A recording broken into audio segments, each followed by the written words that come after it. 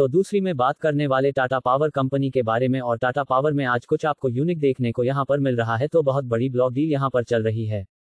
Tata power के अंदर अगर हम रिसेंटली बात करें तो टाटा पावर में यहाँ पर ऑलमोस्ट 20 टू 20 पाँच लाख शेयर्स की क्या हुए एक ब्लॉक डील हुई है और उसका जो प्राइस है वो यहाँ पर टू चौहत्तर टू पचहत्तर के आसपास का था। ठीक है मतलब 20 लाख शहर से यहाँ पर बहुत बड़ी ब्लॉक डील के थ्रू यहाँ पर क्या की है?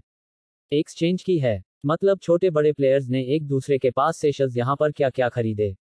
तो इसलिए तो हमें यहाँ पर अभी तो कोई भी इतना खास वॉल्यूम, इतना कुछ खास तेज़ी देखने को नहीं मिली।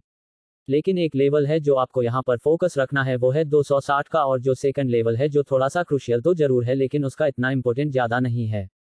वो है 275 के आसपास का 275 270 का तो 260 फ़र्स्ट लेवल 270 सेकंड लेवल है तो इन दोनों लेवल के ऊपर आपको फोकस रखना है।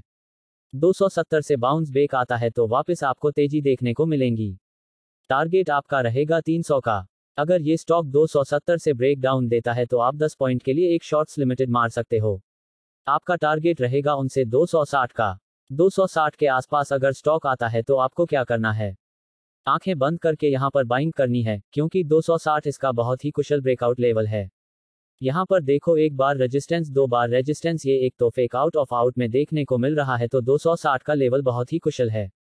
260 का लेवल नीचे की तरफ़ अगर स्टॉक ब्रेक डाउन देता है तो डाउन साइड में 24,240 के नीचे आपको 220 से 200 तक के लेवल देखने को मिल सकती है।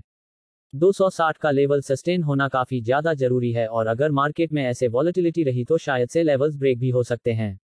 मार्केट अगर गिरता है तो उस कंडीशन में यहाँ पर हमें गिरावट भी देखने को मिल सकती है।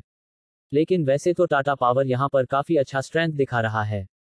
टेक्निकल फ्रंट तो हम यहाँ पर मान के चल सकते हैं कि आने वाले टाइम में आपको तीन से 350 तक भी लेवल देखने को मिल सकते हैं। तो दूसरी तरफ़ यही उनका वीडियो कॉल लगाओ तो प्लीज़ करना चाहते हैं तो सब्सक्राइब ज़रूर लेना।